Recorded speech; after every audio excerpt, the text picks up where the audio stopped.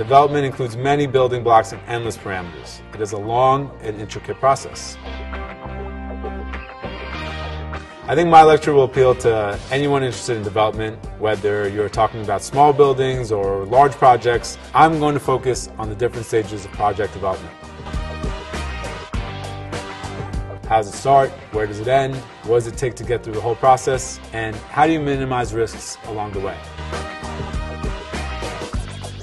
I'm Mitchell Moinian. Welcome to my Real Estate Masterclass.